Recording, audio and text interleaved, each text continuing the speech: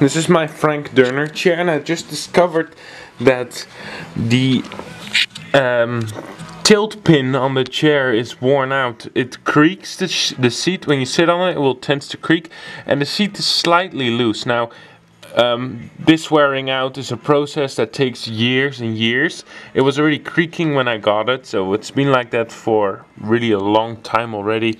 But I wanted to point this out. If you have a chair like this, which is from the mid 50s, and it's creaking and the seat's slightly loose, check the main tilt pin, which is uh, the pin is probably still fine, but there's washers uh, between those two plates and on that left side of that left plate and on the other way around over there and those washers are most most likely worn out.